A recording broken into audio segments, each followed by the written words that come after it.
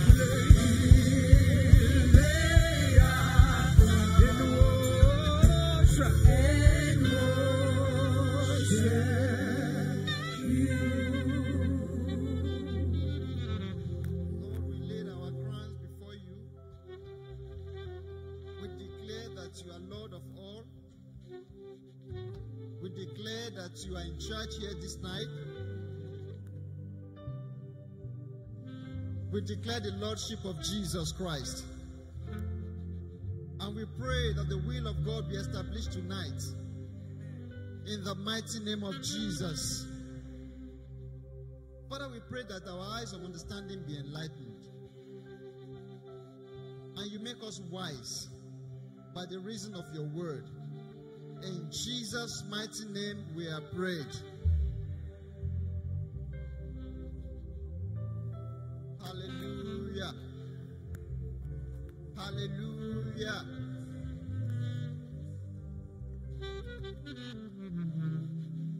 We are all welcome to church. How has been our week? How has been our week? I trust God that we are having testimonies already. I pray that we enjoy the fullness of God's provision for us this season in the mighty name of Jesus.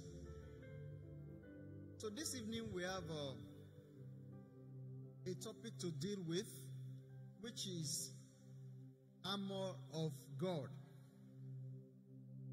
Armor of God. I believe there's no uh, other place in the scripture where we can find this than the book of Ephesians, chapter 6. Ephesians, chapter 6, from verse 10 to 19. Ephesians, chapter 6, from verse 10 to verse 19. That's where we, we are going to be studying this evening. And it's going to be more like a verse by verse teaching, kind of. Okay? And probably there will be questions. I'll be asking us questions, and I will appreciate we um, we have that interaction together. I thank God for Potter's Court. We give praise to God. Thank God for the pastorate. And I count this as a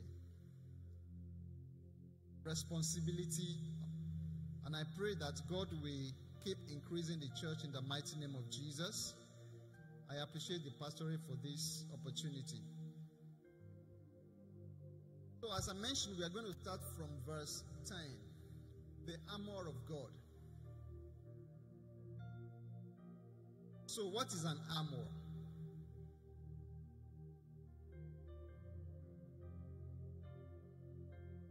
An armor is basically, you know, in those days, they, there are things they put on during the war when there is battle.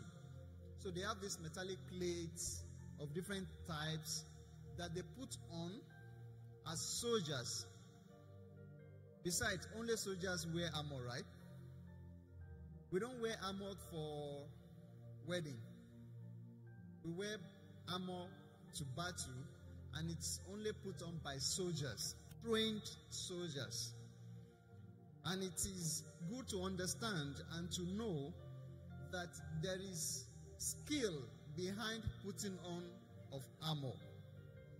That is why in the book of 1 Samuel chapter 17, when David was to confront Goliath, and Saul told him to put on his own armor, Samuel, uh, Saul, excuse me, David said he could not put it on because he has not put it on before. But you know that Goliath has been fighting battles right from his young age. So he was having armor on him. Saul also was a trained soldier, he was having armor on him. However, David could not put on the armor because, because he was not trained to put it on. So, armor is not something that we pick by the roadside or we pick anywhere we find it and we just put it on.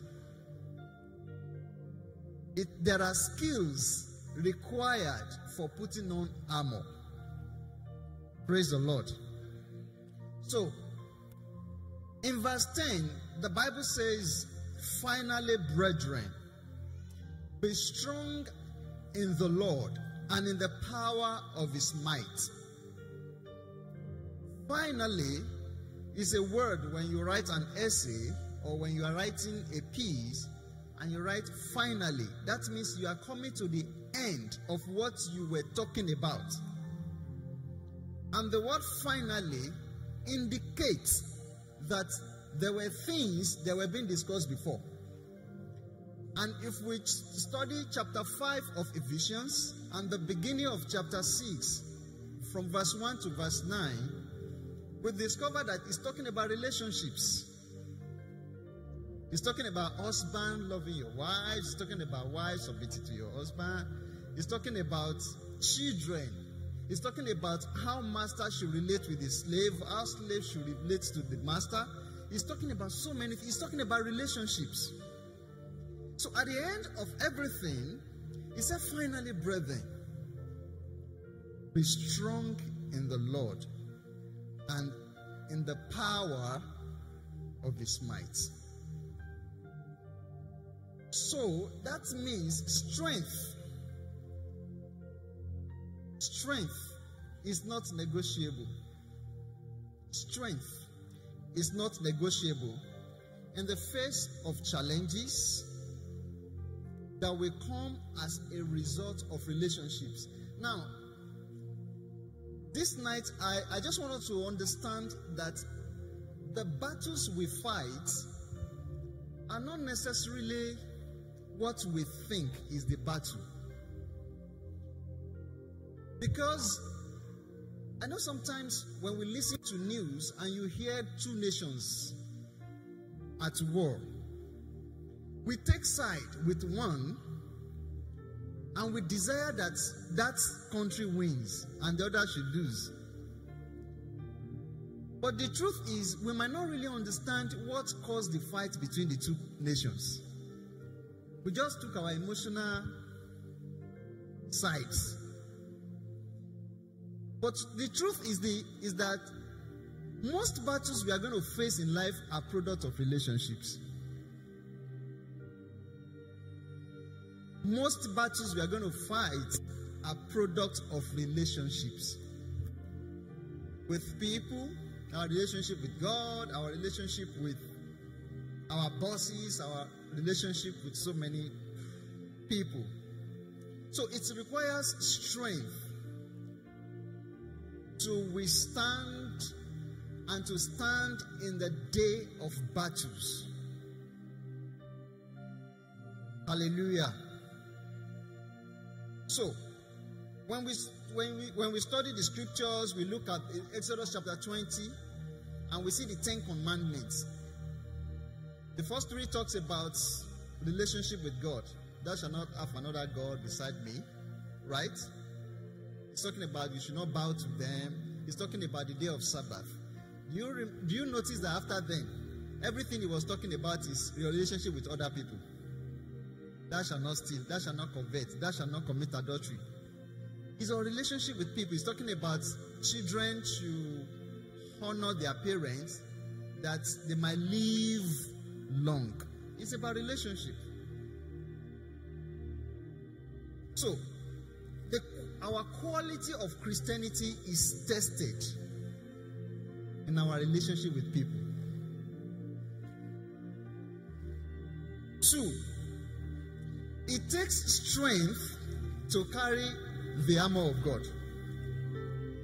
So we're going to have an illustration of a man that is going to put on a physical armor.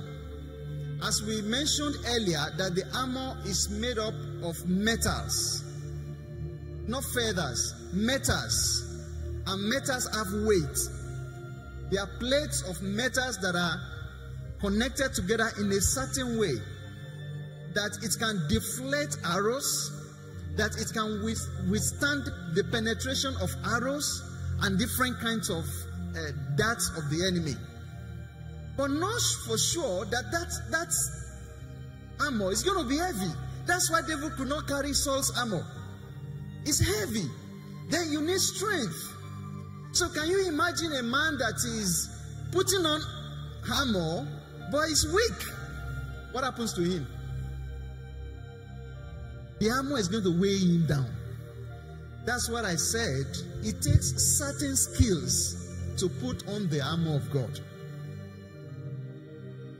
And what the devil does is this the devil finds out our area of weaknesses that will make the armor heavy for us and weary us down. Are you getting what I'm saying? And he explodes those areas. We'll, we'll see some of those areas later on. So it takes strength. In Ephesians chapter 3, Paul prayed a prayer. From verse 16, he said, For this cause I bow my knee unto God, unto the Father of our Lord Jesus Christ, of whom the whole family in heaven and earth is named, that he will grant you, according to the riches of his glory, to be strengthened with might by spirit in the inner man. To be strengthened with might by spirit in the inner man. Why? Because for you to carry the armor of God, you have to be strong. And the strength required to carry the armor of God has to come from God Himself. Because the arm of flesh, by arm of flesh, we cannot prevail. You cannot carry the armor of God by your own strength. I cannot. So I need to be strengthened by God so that I can carry the armor of God.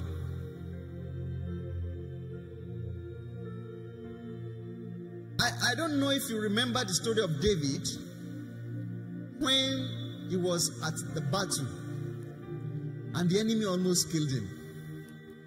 If not for the help of his colleagues, they would have killed him that day.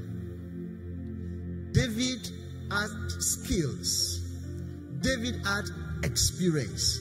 David was putting on armor, but David was weak at that point. We need strength. So he said in verse 10 Finally, brethren, be strong in the Lord, not in yourself, and in the power of his might. I pray for someone tonight that if there is any area of our lives that we are experiencing weakness, the strength of God is supplied unto you in the name of Jesus. Verse 11 says, Put on the whole armor of God that ye may be able to stand against the wile of the devil. That means the putting on of the whole armor of God is not a suggestion, is a command. Is a is a is like the terms and condition for being a member of the army of God. Put it on. He didn't say you may put it. He said put on the whole armor of God. It's not a suggestion. Number two, the putting on is not God's responsibility, it is our responsibility. Say it's my responsibility. He said, put it on. Put it on. So, how do we carry out this responsibility? Have you ever had a situation where someone is sick and you're like, What's wrong with you? They said, I don't know. The next thing you said is, You better go and check yourself. Have you heard that statement before? Have you heard that statement before? Go and check yourself. Oh. Now, the question is Is he the one that will check himself? Answer me now. Is he the one that will check himself and say, Ah, no, I know. Okay, ah, is this headache is, is typhoid or is malaria or is this? Is he the one that will check himself? He's not the one. But why did you tell him to go and check himself? It is his responsibility to do what? To go and do the checkup. So when the scripture is telling us to put on the whole armor of God, it is our responsibility to put up. But how do we put it on? Because if we do not know how to put it on, we will put the breastplate at the back. Hmm? We will use the sword and tie it on our arms. You know, our arm is long and the sword is, uh, is long too. We will mismanage resources. So, in Philemon chapter 1, verse 6, he said that the communication of your faith might be effectual by the acknowledging of every good works that is in you in Christ.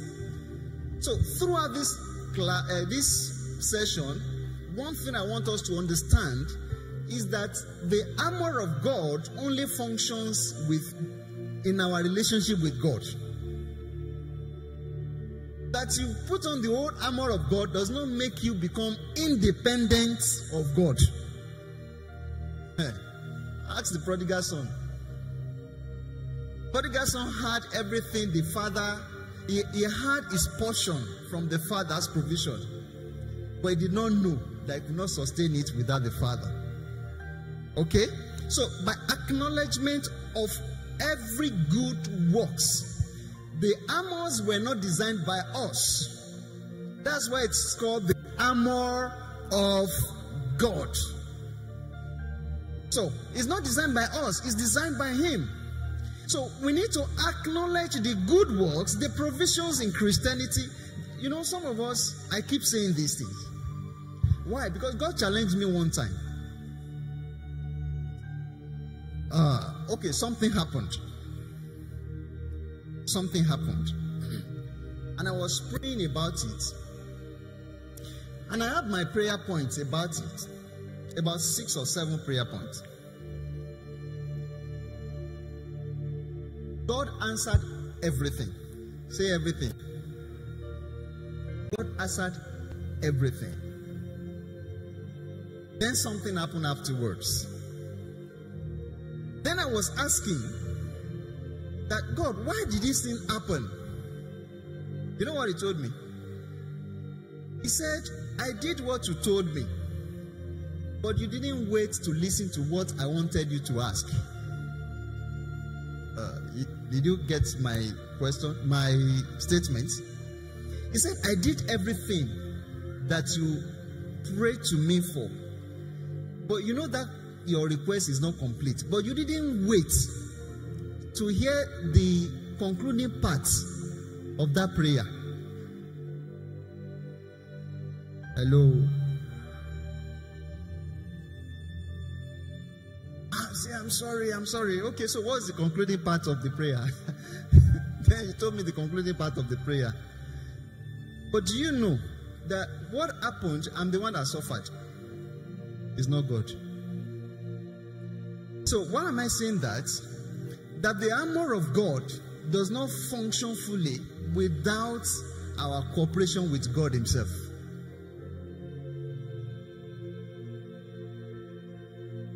So, there is nothing about the armor of God that we can be proud of in ourselves.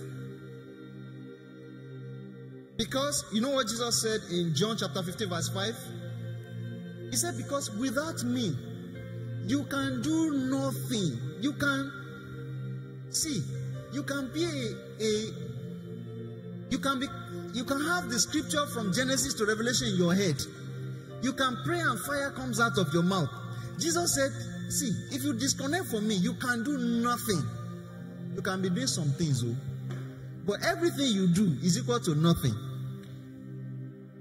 So, carrying the armor of God without God Himself is like a man setting himself up for defeat. Please let us first of all settle that from the beginning. Samson carried the anointing of God, but at the point he disconnected from God, what happened to him? He had issues. Okay?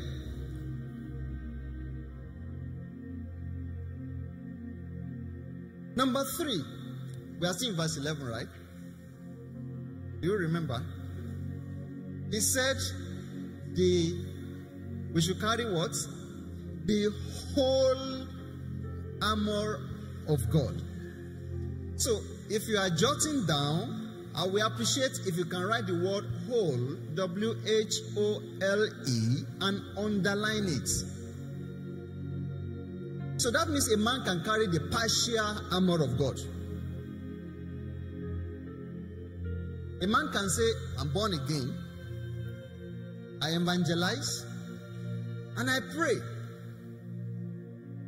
So, what are you now talking about? But he's not carrying the whole armor of God. Second Peter chapter 1 from verse 1 to verse 9 told us so many things we need to add to our lives. And in verse 8 to 9, it says, For if these things be in you and they abound, they shall make you that ye shall neither be barren nor unfruitful in the knowledge of our Lord Jesus Christ. But he that lacketh this thing is blind, cannot see afar off, and have forgotten that he was purged from his old sin. That means the armor of God we put on must be complete. Number one, we cannot carry the armor of God without God. We cannot function in the armor of God without God Himself. And the next thing is that the armor we put on must be complete. The Bible talks about the whole armor.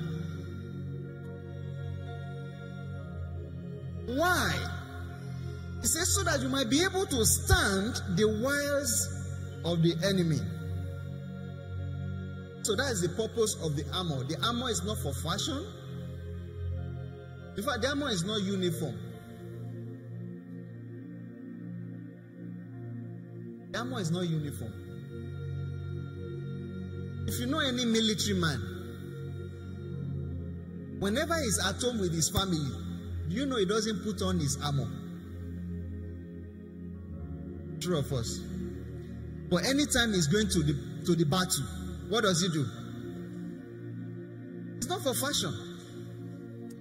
When a man puts on the armor, it's a sign that that man is ready for battle. Verse 12 says, Because we wrestle not against flesh and blood, but against principalities, against power, against the rulers of darkness of this world, against spiritual wickedness in the high places. I would like us to stop here a little. You know, sometimes I watch action movies, and there is something I see that is common whenever there is warfare. The enemy doesn't always come to confront. But sometimes Especially when they have tried, tried, tried, tried, and they could not penetrate the camp, they begin to use the principle of distraction. Have you noticed it in uh, action movies before? Right? You notice somebody, for example, they are chasing one another, they have an object in between them, and the guy stays here and he takes an object and he throws it far away from where he is. So that when his opponent hears a sound, what does the enemy do? The opponent turns to that place where there's a sound, but is it there? So when the enemy turns to that side, he has the opportunity to be at the back of the enemy and shoot the enemy.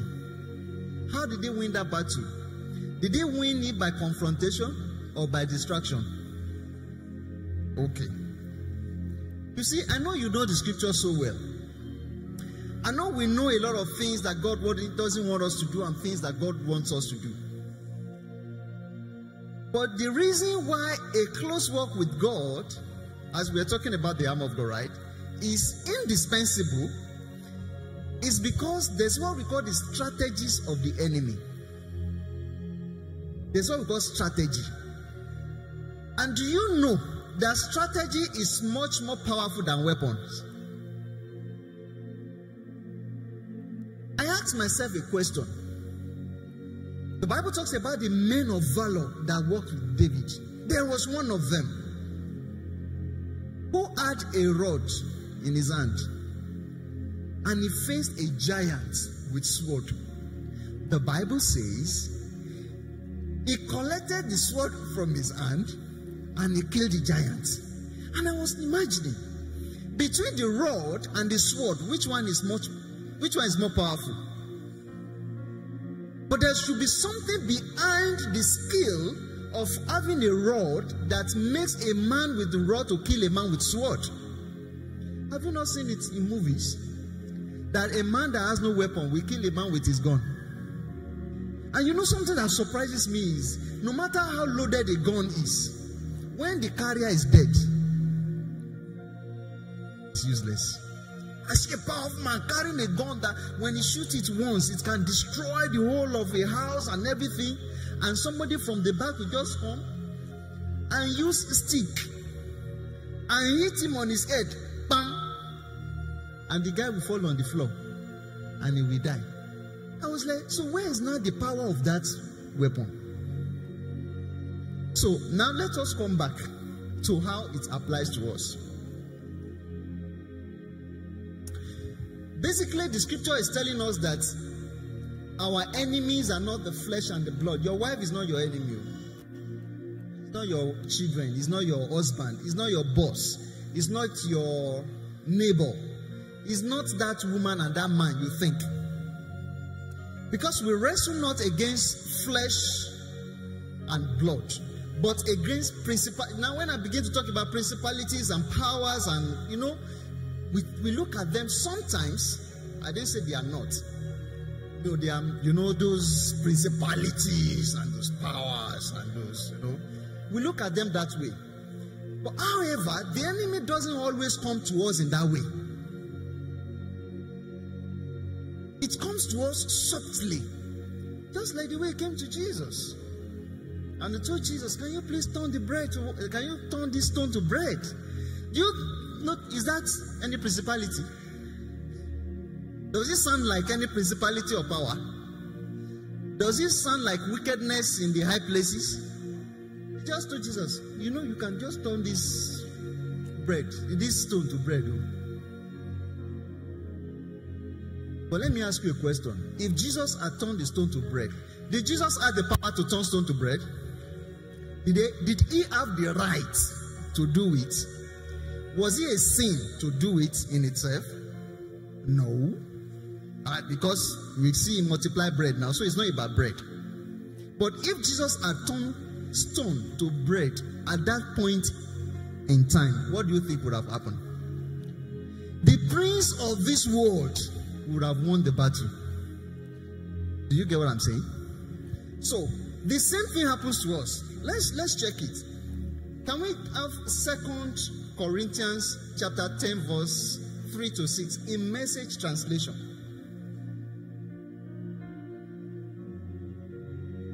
Second Corinthians chapter 10, verse 3 to 6 says, This word is unprincipled. It's dog eats dog out there. Hallelujah. Oh. This word. He said, The world doesn't fight fear. But we don't live or fight our battle that way. Never have and never will.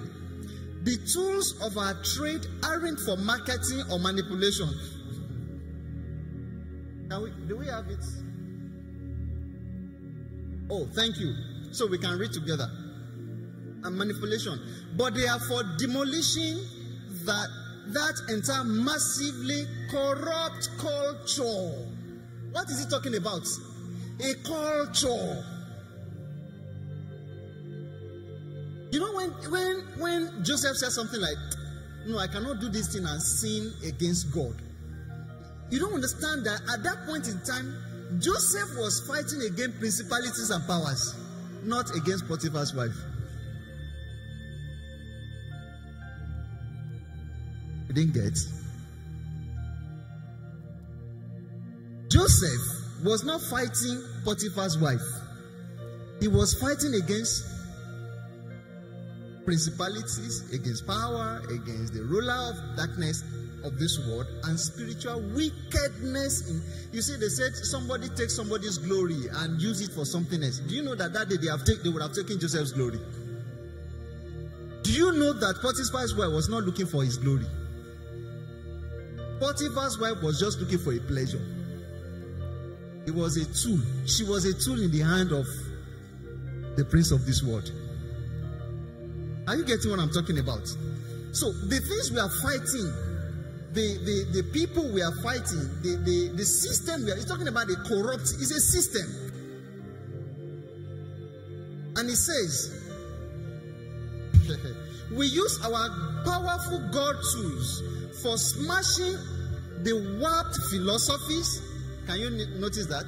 Philosophies tearing down barriers erected against the truth of God, fitting every loose thoughts and emotion and impulse into the structure of life shaped by Christ. So, what we are really fighting against is those things that are working against the existence of Christ and the Lordship of Jesus Christ. That's what we are fighting against. And he said, Our tools are ready at hand for clearing the ground of every obstruction and building lives of obedience unto maturity. This is the purpose of putting on the weapons of our warfare. This is it. It's not to kill the enemy. Yes, you may die along the line. You know, along the line, your enemy may die. But do you know many times that our enemy die, but we we are still a slave to a system? Because the Israelites left Egypt and they praised God. But do you know that they were a slave to a particular system? And that system made sure that they didn't enter the promised land. That is what we are fighting against. Let me give you an example. Do you remember in 2 Samuel chapter 24, verse 1 to 4? The Bible says, And again, the anger of the Lord kindled against Israel.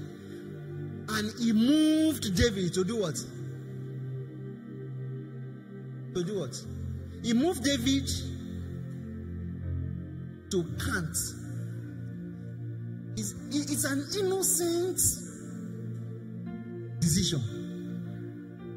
It's not just to cant it. I just want to know.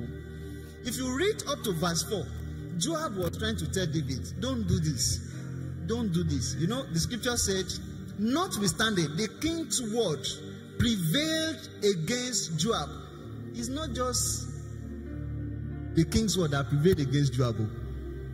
It is a principality that is a word that prevailed in that conversation. And when he did it, what happened to the to the people of Israel? They began to die. Are you getting what I'm talking about? Do you remember in Matthew chapter 16, verse 22 to 23? When Peter took Jesus and he began to rebuke him, saying, Be it far from thee, you will not die, you will not die. What did Jesus say? What did Jesus say?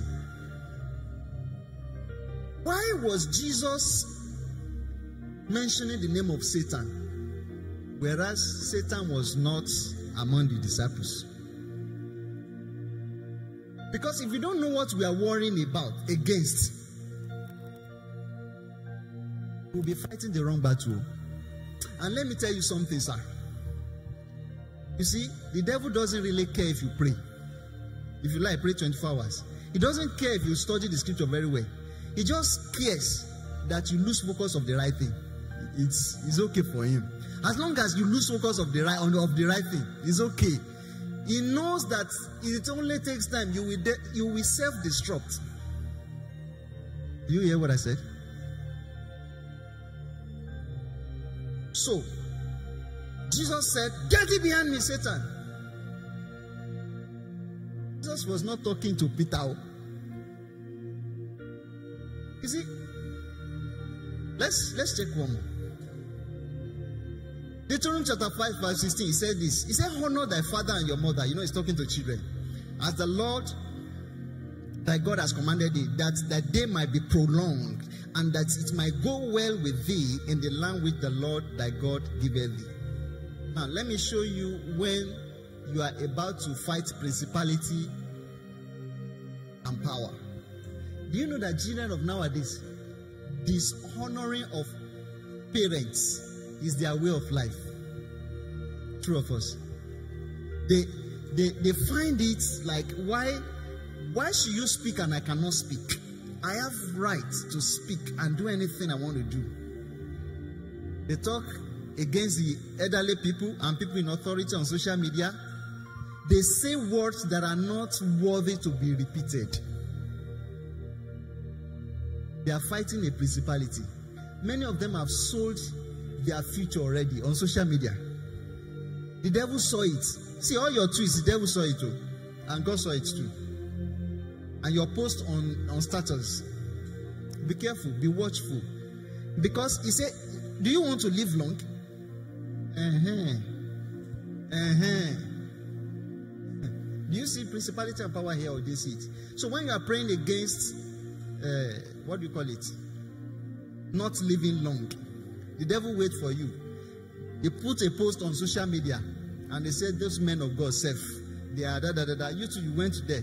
I've been saying it, I've been saying it, and you join that conversation. The devil takes it. It is you the devil wants to get, it's not them. Because them they are already in his in his uh, what do you call it? In his jail.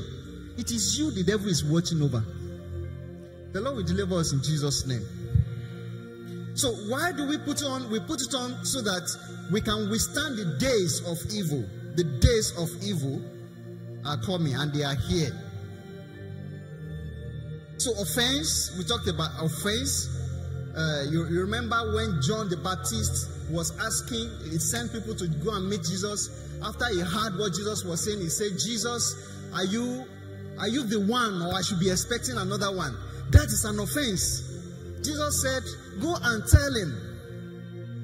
The lame walk, the blind see, and this happened and that happened. Ah, Jesus said, and blessed, that's Mark chapter 11, and blessed is he whosoever that shall not be offended in me. Offense. So when my wife offends me, the devil is about to set me up. Oh. You don't know. See, see, couples, we take misunderstanding casually. We take casually. And we say, It is you. This home, oh, this house would have been good. It is you. It is you. It is you too. Then we setting you up. Offense. And the scripture says in verse 12, 11, 12, it says, From the day of baptism, the kingdom, Jesus began to talk about John. He now said, ah, From this day of baptism, the kingdom of God suffereth violence, and the violence will take it by force. See, it's only men of war that are violent. Men of war. So we fight not against flesh and blood. Don't forget, principalities, the powers, and those things manifest themselves in our day to day activities. Hmm. So, what are the contents of our armor? Verse 14 now. Are we going with me? Are we learning something? So, the content is it says, Stand therefore, having your loins girt about with truth and having the breastplate of righteousness. So, the truth, we know there's nothing called the truth. There's no one that is called the truth except who? Jesus. Jesus said, I'm the way, the truth, and the life. It's not, I'm not a way, I'm not a truth. I'm not, you know, nowadays everybody translate the scripture the way they feel it should be translated. Eh. Uh, my opinion doesn't count when it comes to the scriptures. My opinion doesn't count. The truth counts. And that truth should be that which we use to guard our. See, let me talk about family a little. Something happened not long ago. My wife, I will tell you, sorry, my wife. Eh? My wife did something to me. And I made up my mind. I said, to do this, right? Anyway, this is what I will do because I don't want to say something I should not say. I said, That area, I will abandon that area. Do you know we do it in marriage? When it comes to that area, I will abandon it. And I abandoned it. And the Holy Spirit told me and said, Oh, you abandoned that area. I said, Yes, of course, because I don't want to say things I'm not supposed to say. I don't want to do things I'm not supposed to do. I want peace. Do you hear this statement we used to say? I want peace to reign.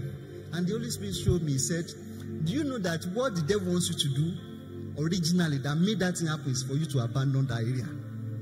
And he began to show me the, the value in those areas. See, he wants you to abandon this area because of this, and because of this, and because of this. I was like, ah, Holy Spirit, don't let us go that side. He said, no problem. If you are ready to abandon those things, those treasures in those places, no, abandon that area. You see, I wanted to fight the battle using my own method.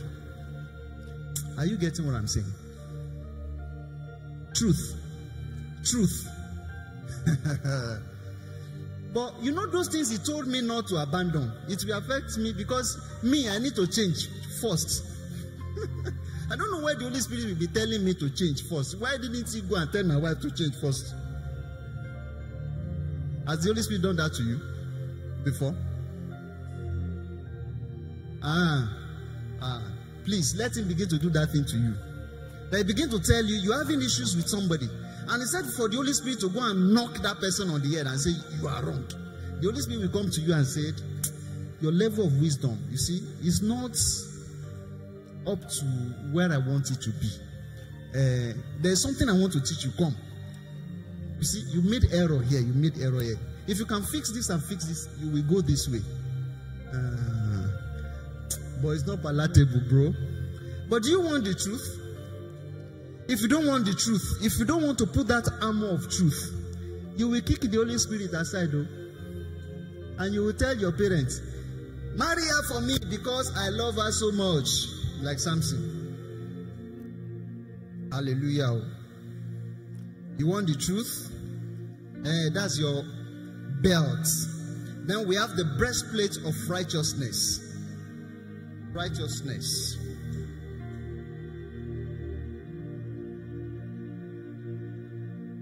Psalm 15, verse 1 to 2, he said, Lord, we shall abide in the tabernacle, who shall dwell in the holy hill. He that walks uprightly and walketh righteousness. Righteousness is not just in your heart, righteousness is a nature of God imparted upon our spirit that makes us produce the, the fruit of righteousness. Don't tell me you are righteousness inside and it doesn't show outside. Hallelujah. Oh. Hallelujah. So that is our breastplate. Breastplate of righteousness. Verse 15 says, And our feet with the preparation of the gospel of peace. So my chest is covered, my waist is covered, right? The next one is my feet. Isaiah 52 verse 7 says, How beautiful upon the mountains are the feet of him that bring good tidings, that publisheth peace, that bringeth good tidings, good tidings of good, that publisheth salvation, that saith unto Zion, Thy God reigneth. The gospel of peace is not only to believe to unbelievers, it's to believers also. When a believer is hurting, what, what news do you bring to that believer? Do you do like Job's friend and say, eh, what happened to you? You are sick. I know. You know, last week when you were going like this, you were going like this. The way I was looking at you, I know you will get into trouble. Or you tell him and say, bro, don't worry. God is on our side. Can we hold hands together and pray together? Ah. You see, there's a, there's one of the people in the in the scriptures. I can't remember his name. Anytime they want to pass in the time of David, anytime they want to pass good news, they will send this man. So there was a time during the fight between Absalom and uh, David, and they saw somebody coming. They said, Who is coming? They said, Ah, it looks like they mentioned the guy's name. I can't remember now. They said, mm, If it's that guy, then it should be a good news. But if it is this other, guy, he said, But another guy has, overcome, has overtaken him. I said, ah, It means uh, the news is not too good. When men see you, do they become lighter or their spirit become heavier? But when you do that, that you bring the, the good news unto others, you are not bringing good news to them. You are putting on the armor of God. You are putting your feet in the right shape. And you are ready for battle because a day is coming. You will need that shoe. You will need somebody that will bring good news to you that will look like water in the desert. But because you've always killed other soldiers, you will not see help in your time. May that not happen to you in Jesus' name. Now he said, above all, taking the shield of faith, wherewith ye shall be able to quench the fiery darts of the enemy. So when darts are coming, now what is faith? Faith is the evidence. I know we all know that. So let's talk now. What is faith?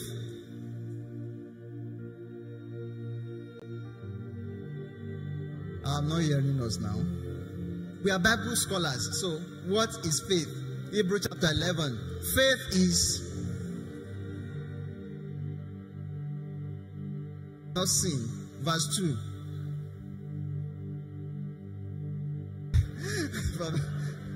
the elders receive a good report.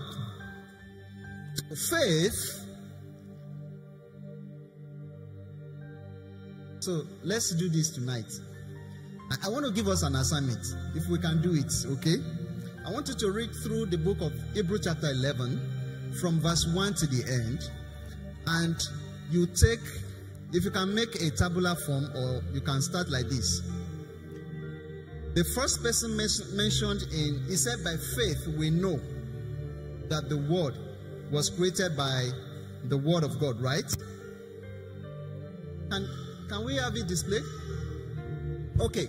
Verse 3 says, Through faith, we understand that the world were framed by the word of God, so that things which are seen are made of things which which were seen were not made of the things which do appear. Verse 4. By faith, Abel. Now, the, this is what uh, the assignment I want to give us. Is it okay by us? So, by faith, you go, you write Abel, you underline, you now write everything that Abel used his faith to achieve. For example, so let's do the first one. By faith, you say Abel, number one, offered unto God a more excellent sacrifice than Cain. Right? Then, under it, the next line, you write effect. That's what he did, right? The effect is that he obtained, but we obtained witness that he was righteous. God testifying of his gift, and by it he, being dead, yet speaketh. So you write everything that everybody in this book of Hebrew chapter 11 from verse 1 to the end did. And you go through them, go through them again and again and again, like four times. You will understand what faith is about. But let me just give you this hint that I noticed that everybody in Hebrew chapter 11 they did not use their faith to receive anything from God. Rather, their faith was used to please God. Do you not see it now? He said, by faith, Abel, he, you by faith, you want to receive Abby. By faith, he, he offered more excellent sacrifice than Cain, and by which he obtained a witness. So he receives a, an approval from, it's like you submit your document to the embassy, and you receive a reply that says approved. So he receive an approval that he was righteous, and God testified of his gift that in a way that even though when he was dead, he's still speaking. Do You want your faith to get to this level. because if the way of a man pleases the Lord, he makes even his enemy, the flesh and blood. Do you remember the flesh and blood? He makes even his enemy to be at peace with him. No.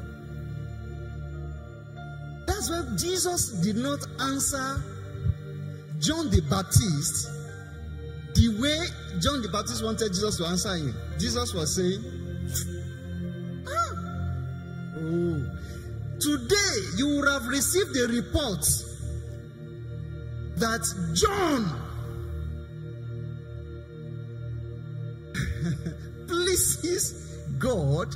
I mean, let's just okay. I'm just paraphrasing, right? Pleases God and his and his and his declaration. You know, in the book of Hebrew, it talks about people that they saw it afar off, but their hand did not touch it. He said, but they declare that we are not of this place. We belong to that place. And those people also, if you read, just go and read it, you will see that also they also they receive a report. So faith is what is needed to receive a report card from God. So it is that faith that scripture is talking about here in, in chapter 6 of Ephesians. Because you can use your faith to collect things from God without pleasing God. You know, I don't need to like you to give you something. You don't know. You can put me under pressure. And Yoruba will say, Motijue. And I can be, I can just, "Ah, your problem is too much. And I will do what? I will give you. Ah, But if you please me, you know that what you are not thinking about, I will be thinking about you. Do you know that your prayer, each time you will make a request, I will be swift to answer you. Much more is God. Oh, am I talking to somebody? Are we, am I communicating? Okay. So God desires that our faith should be an avenue to please Him. That is the faith that we put on the weapons. And it, that is needed for this armor. Praise the Lord. Oh. Because you know, verse 6 says, because in verse 6 of Hebrew chapter 11, he said, because without faith, it is impossible to please God. For he that comes to him must first of all believe that he is. See, that word he is means, you know, when God when God was having a conversation with Moses and said, What name do I tell the people? What did he say? I am. So that's what's talking about he is. That means he, he is because in him started everything and in him everything ends. There's nothing outside his cycle. He is and is a rewarder of them that diligently seek him. Oh. You know, I was discussing with my wife yesterday. We were just talking about something, and I say, it baffles me how much God did wonders. Ten times in the land of Egypt for the for the Israelites. Ten times. And God said, my, my mighty hand, I took you out of this place. And I took you, I'm taking you to Canaan, and this and that. And in the wilderness, God said, You still deny me ten times. So that means it's not enough that there's no amount of miracle God can do to a man that can make that man to change his mind. A man is is paying is, is, is having his tent in a place that say, ah, yesterday I asked for money, God gave me money. That means my ways, you know, ah, me and God. Anytime I pray like this, He answer. No, no, no, no. How you will know that you are walking in faith is because your way pleases the Lord. And with that, you will get a confirmation letter from Him. he said, Because Abraham, Abraham believed God and it was counted unto him for what? Righteousness. You must get a report card from God. The Bible says it makes rain to fall on everybody, even unbelievers and, and believers equally. Have you not seen videos of people that are narrowly, narrowly, and they, they narrowly escape death and they don't know God? But there's something more for you. You are, you are a child of God, I believe. If you're a child of God, there's more for you. There's more for you. You can be going to the market and dash somebody 500 naira, 5,000 naira, whatever, no matter how much is in your pocket. But it's different for your children. It's different. You are God's child. Above all. So that means above all. Say above all. Above all is faith. So, but that that faith is not for bread and butter. Verse 17 says, And take the helmet of salvation and the sword of the Spirit, which is the word of God. He said in Isaiah chapter 59, verse 17, he say, For he put on righteousness as a breastplate and the helmet of salvation upon his head, and he put on garment of vengeance for clothing, and was clad with zeal of as a cloak. So helmet of salvation, that's what shields our head. Now it talks about the word of God, which in Hebrew chapter 4, verse 16 says, uh, verse 12 says, For the word of God is quick, is powerful, is sharper than any two-edged sword. Sharper than any two-edged sword. Piercing even the div- dividing asunder of soul and spirit, and of the joint and marrow, and is discerner of the thought and the intents of earth. Neither is there any creature that is not manifested in his sight, but all things are naked and open in the eyes of him with whom we have to do. See, if you take your time to study the word of God, You would, you would be discovering God's heart, God's principles, God's way of living. You will, you will, you will discover the sneers of the fowler in the scriptures. You will discover the, the, the, the, the plans. You just be reading the book of Daniel, for example. You're just reading the book of Daniel, and you're just reading, you know, you're just studying and reading. And you see, let me let me advise you when you're reading the scripture, ask questions. Ask questions. You know, one of the questions I asked myself was that now we have this uh, we, we have this armor of God, and we have the breastplate, we have the the we have this uh, this one on our loins, right? We have the shoe on our feet, we have the helmet of salvation. But why do we still need why do we need the shield? Why do we need it? Because it, to me it looks like the shield gives us a double. We have one. Do we use shield at the back? Where do we use the shield? In front. So I'm asking, maybe you know, I, am still asking. I'm asking the Holy Spirit, why do we have, why do we need to have double protection again? Since we have, hmm? I know it will tell me. Right? Ask question when you are studying the scripture. Oh, Holy Spirit, why, why did David not do this? Why did he do this one? Why did you ask him this? And please listen to the truth, oh, because when God will explain to you, He will not explain to you just the scripture. He will explain your life to you. Right? So the word of God is quick, it's powerful. So when you study the word of God, you are setting yourself up, getting ready for the days when the arrows will come. Because arrow, as I told you, might not come like you sleep in the night and somebody shoots arrow to you. We all know that, and it happens. But what about the arrow of thoughts that come to your mind? Arrow of depression. Arrow of, are you sure I will make it? Arrow of, are you sure somebody will marry me? Are you sure I'm fine? It's an arrow. So, what scripture do you have ready? Because you do not prepare armor in the day of battle. Praise the Lord. And the Bible says, praying always with others, verse, verse 18. Praying always with all prayers and supplication in the Spirit and watching thereon with all perseverance and supplication for all saints is part of the armor because when you check the book of Joel, chapter 2, and you see the army of God that is going to operate at this end time, they are here already. They are not coming, they are here. They are here. That army, the Bible talk about ranks. Eh? so they will have ranks. And each rank is going to be performing different operations. They're going to be doing different things. You will see them in sports. You will see them in, in academics. You will see them in education. You will see them in governance. You will see them in art. You will see them in different areas. I mean, like you see uh, Daniel in, in, in, politics, and you will see they are here already. They are not coming. Let me tell you something. What you look for is what you will see. Oh. You on social media, you just see that Nigeria is not working. Abi, is what you are looking for. You will see it.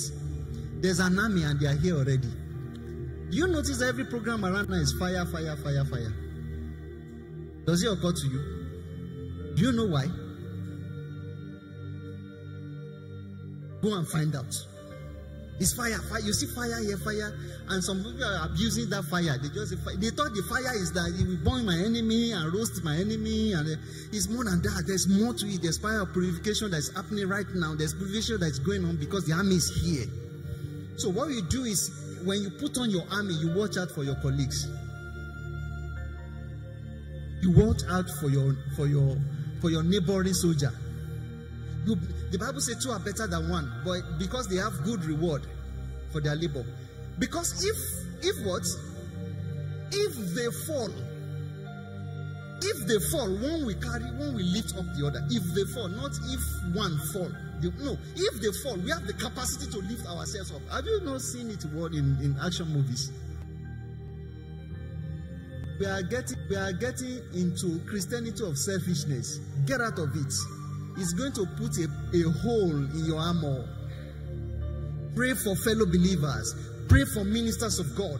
Pray for the church. Pray and pray and pray for people. Not only you. You are not the only one here. Pray, pray, pray for people. Pray. Oh. I know we understand that language. What did I say you should do? Pray, oh. But don't only pray for yourself. God, my house, my key, my this, my dad, my car, my my my my. The scripture is telling about the supplication for the saints. And I see the Lord helping us in the mighty name of Jesus.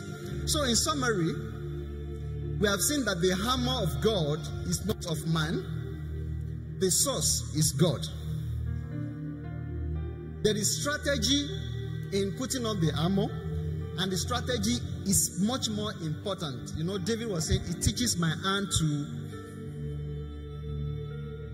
There are weapons of destructions and weapons of distractions. I hope we know. And the hammer of God cannot function outside the God of the hammer. Therefore, we know there are look-alike hammers. Hmm? Look-alike. I can make a hammer with paper now. You will like it. But the test, if it is true hammer, is in the day of battle.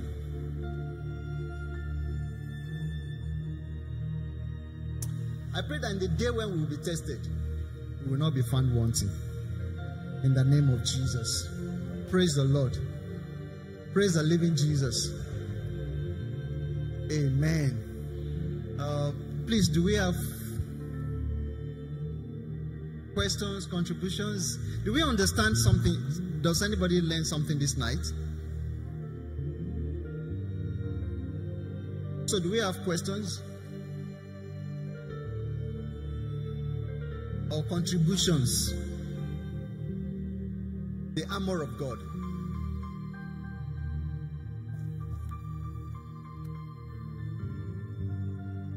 Do we have?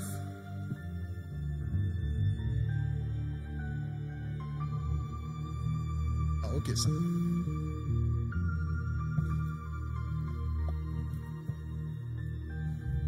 Yeah, praise the Lord. I want to say thank you very much, sir, for this wonderful teaching. Um, while you were teaching, you made you made mention of um, the issue you have with your wife, and now the Holy Spirit dealt with you. Uh, I just want to relate similar thing happened over the weekend between myself and my wife. And at a point, I was angry, and I put off the phone. And while I put off the phone, the Holy Spirit told me you are a fool. For three days, and this particular night, you want to allow anger and just is mere misunderstanding to cost you a lot. And I had to call my wife back, and we spoke. And while we were speaking, she was still a little bit, but I was just patient until we were able to resolve the whole issue, and I found peace. You know, it's important that we understand that the just like you said, the principalities, they are not what we see in uh, Nollywood, what we see in movies. They are just minute things that the devil, the enemy, is using to get at us. It may be anger, it may be doubt, just subtle things. And he will make sure he use those that are closest to you to cause you to fall so that he can take advantage. I want to say thank you, sir, for uh, for that. God bless you, sir. Praise God. Okay.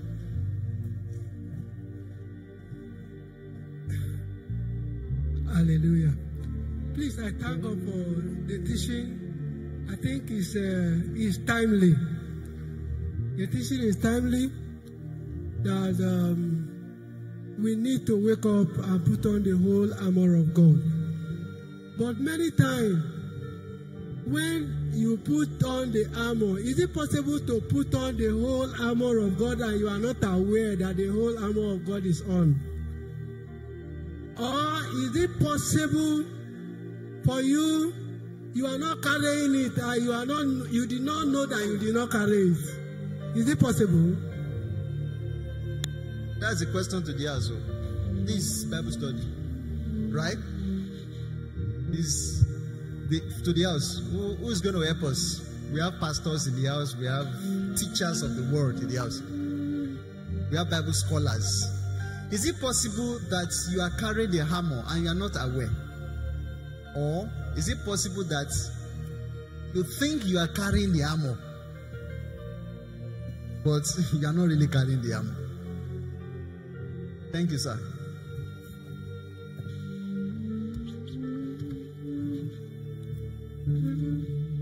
Yeah, you you can carry the armor. When you carry the armor, carrying of armor armor is intentional. You can't see a soldier going to a battle and left his armor. He left his armor in the, in the armory and come to the battle thinking he went with his armor. So that's not possible. So when you are carrying armor, you will know you are carrying armor. But it is possible for you to think you are carrying armor. And yet, nothing is on you. It's possible.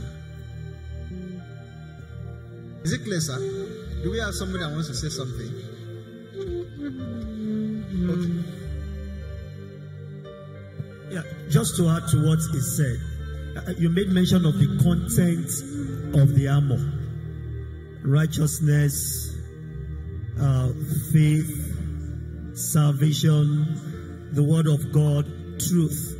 So if you have those things in you, you're operating with those things, you know you carry the armor. But where one of them is missing, just one is missing. If faith is missing, how do you now please God? What are you carrying? Your armor is incomplete. Praise the Lord. So, okay. Sorry, Pastor. Okay, so if um actually when I know I need retreat, maybe pride is setting in. I know I need retreat, so I know that that armor I need to carry it. If I see that I'm, I can't pray like before, I know that okay, my armor is you know. So that is how I think I'll know that I'm not wearing a particular armor at a time, or my faith is down. Praise the Lord. That, that means you can know when there's leakage. So we can have leakage. Like the breastplates, you know, there are plates like this. Maybe one of them is shifted one side.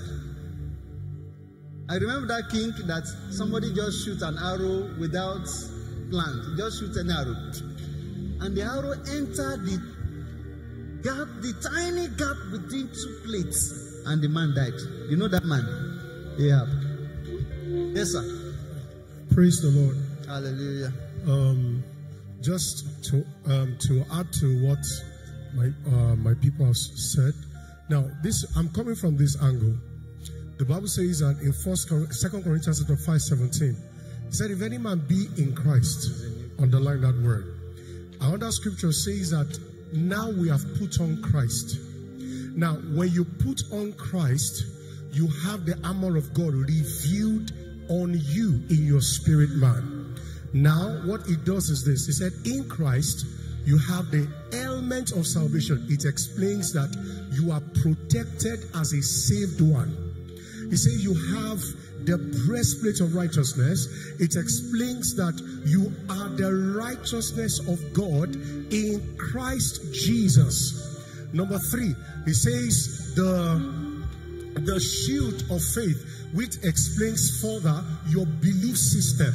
Because that is what your faith is a faith coming by hearing and hearing by the word of God. Jesus was speaking to Mary at the tomb of Lazarus. He said, If you believe, which is the same word as if you have faith, you will see the glory of God. And then he talks about the uh, the loins of truth, which means that in Christ we have the word of God to guide us, to guide uh, anyway, don't let me go into that. To guide, to protect us, to hold us tight, even in this. And then we have the fruit of the gospel, uh, of course, which explains that even as we are saved, even as we are saved, we are the righteousness of God in uh, righteousness of God in Christ. Even as we have our belief system accurately um, as our defense shield, we have the loins of truth. So what that scripture is saying that also share it with other people. That's what it's saying. So it's very possible. So the first thing you need to do is that you need to be consciously aware that you are born again. And because you are born again, you have Christ living inside of you. If you believe that Christ abides in you, the armor of God is upon your life. I don't know if I'm making sense. Do you understand? None of the armors, you didn't buy them. In fact, you cannot work for it. You, you understand, sir? You can't work. For, you can't buy it. You can't work for it and now I earn it. No.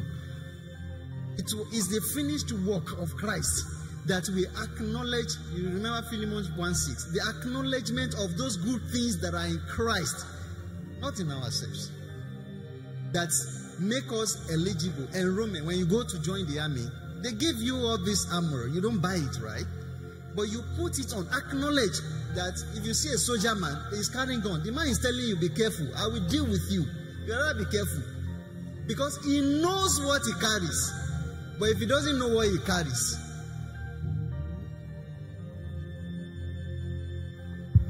and let him go. Okay? Do you understand, sir? Yes. Okay, I, I wanted said, to I wanted to mention something about what you said about the shield of faith. Why do we need double protection? Um, something came to my mind. If it is the shield of faith that explains that, I mean, sorry, if it is the, the breastplate of righteousness that explains that we are the righteousness of God in Christ Jesus, don't forget that your belief system is what God used to protect your righteousness in Christ. Once your belief system is attacked, your righteousness of, in Christ, your standing, your right standing with God becomes also attacked. So, what God does is to establish a strong faith system or belief system in order to protect you as His righteousness in Christ. Thank you. Shall we stand to our feet, please? Oh, sorry, we are already. I'm very sorry, sir. Please, hmm? my. Can we please stand stand to our feet?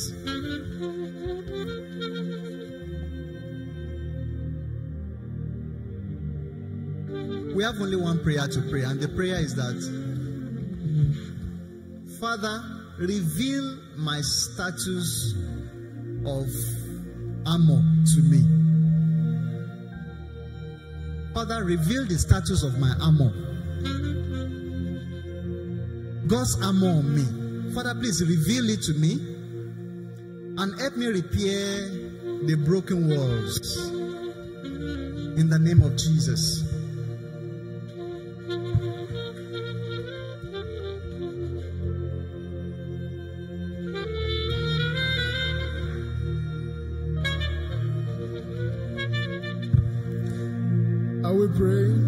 Father, please reveal my status to me. In the name of Jesus. And help me repair the broken wall. In the name of Jesus. In areas I might have lost the breastplate of righteousness, in areas my breastplate might have been punctured, in areas I might have lost the belt of truth, I no more have my feet guarded with the preparation of the gospel, or have even lost the element of salvation, you can ask the Lord to repair the broken armor this night in the name of Jesus. Father, please reveal my status to me. And wherever I need amendments, wherever I need a new armor, please help me this evening in the name of Jesus. It's only before you that I can be naked and not ashamed. Please evaluate my life for me in the name of Jesus and replace old armor that might have even worn out I may have. In the name of Jesus, is my belt of truth. Has it broken? Is my belt outdated? Is my breastplate of righteousness? Is it punctured? Father, please help me replace them tonight in the name of Jesus. Thank you, blessed Lord. In Jesus' mighty name we are praying. Let's say a word of prayer for our teacher tonight and ask that the Lord will help him to indeed be fully kitted as a believer from the crown of his head to the soles of his feet, that no armor will be missing. In the name of Jesus, And if the sword of the Spirit is already blunt in his hands, and the Almighty God will sharpen it for him in the name of Jesus. And when the enemy comes to attack, he will be fully ready in the name of Jesus. Thank you, blessed Lord. In Jesus' mighty name we are praying. Amen. Please let's prepare our offerings as we give to God this evening. I believe the usher must have given us an envelope. And if you are making transfer, I believe media will project the account details for us to transfer into the account. Hallelujah. appreciation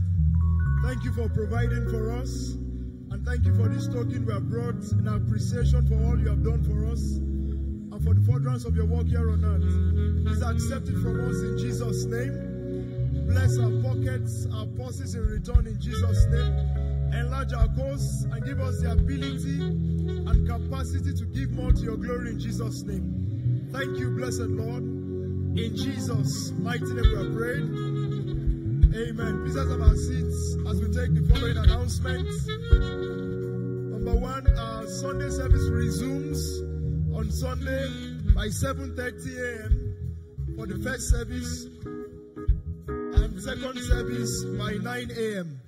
So we admonished to invite someone to church. First service 7:30. Second service starts with master class by 9 a.m. Number two, our youth expression service for this month is almost here. Who knows the theme for this month?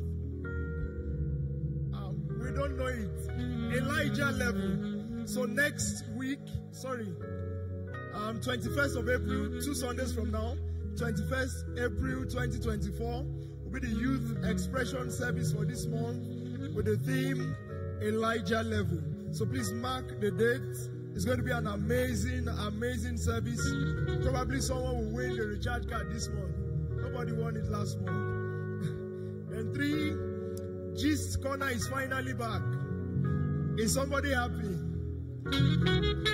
Hallelujah. Who knows the theme for or the series that will be starting off this Sunday? Yeah, it's a breakfast, a breakfast series.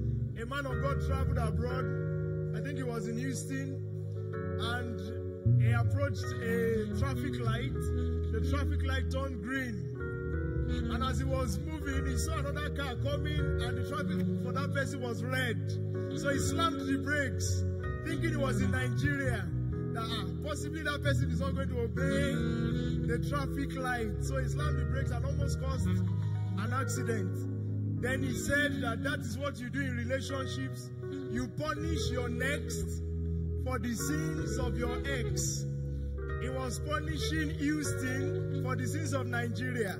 Aha. So it's going to be a breakfast series. Come and learn about love, heartbreaks, healing, and the likes. Of course, it's going to be premiered this Sunday by 5 p.m. It will be live on YouTube, 5 p.m. this Sunday. So please, even if you cannot make 5 p.m., maybe for Connect Center's sake and all that, it will be on YouTube. You can watch it anytime. But also, please, we need us to send in our questions. Of course, we don't need your names. It's going to be an anonymous thing. The bar, the QR code has been sent, and even the link also has been posted on the family page. Do well to click it and send in your questions. All questions, as much as we have the ability, will duly be attended to by God's grace. And may God make our relationships, our homes, heaven on earth in Jesus' name.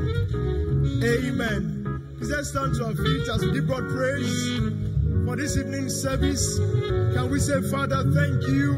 Thank you. It's a privilege to bear the whole armor of God. It's a privilege. None of us wants the element of salvation, but it's given to us as a gift. None of us really can tell the truth at all times, but you can have it as a belt the breastplate of righteousness, the sword of the Spirit, which is the word of God. We also admonish you pray always with all prayer and supplication in the Spirit. Can we say, Father, thank you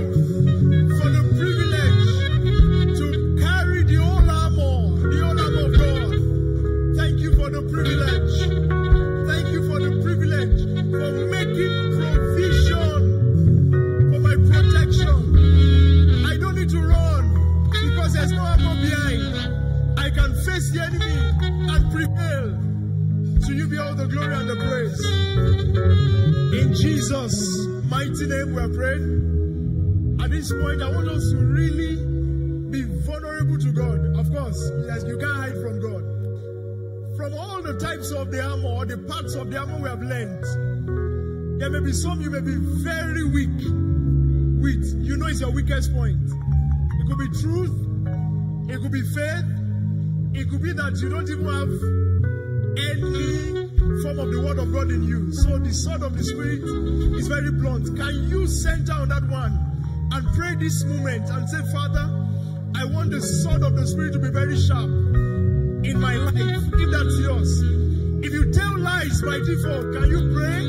And Father, please help me fasten the loins of truth in the name of Jesus. Is yours that of preaching the gospel? Father, please help me that my feet are naked. And I will guard my feet with the preparation of the gospel. In the name of Jesus. Are you falling and rising in faith? Your breastplate is punctured. You don't believe in God anymore. Can you ask that the Lord will help? The breastplate of righteousness, your shield of faith. Father, help me with my shield of faith, with the breastplate of righteousness, with the helmet of salvation. That I will be fully guarded in the name of Jesus, especially my feet, the preparation of the gospel and the breastplate of righteousness. Even in these times, to the glory of your name. Thank you, blessed Lord. In Jesus' mighty name we are prayed. Amen and amen. Let's have a wonderful evening. Thank you for listening. We hope you were truly blessed by today's service. Follow us on all our social media platforms as we share edifying content all week and for a real time update about our events. Till we come your way again on Wednesday, remain blessed. God is God, building excellent minds. Thank you for listening. We hope you were truly blessed by today's service. Follow us on all our social media platforms as we share edifying content all week and for a real time update about our events. Till we come your way again on Wednesday, remain blessed. God is God, building excellent minds. Thank you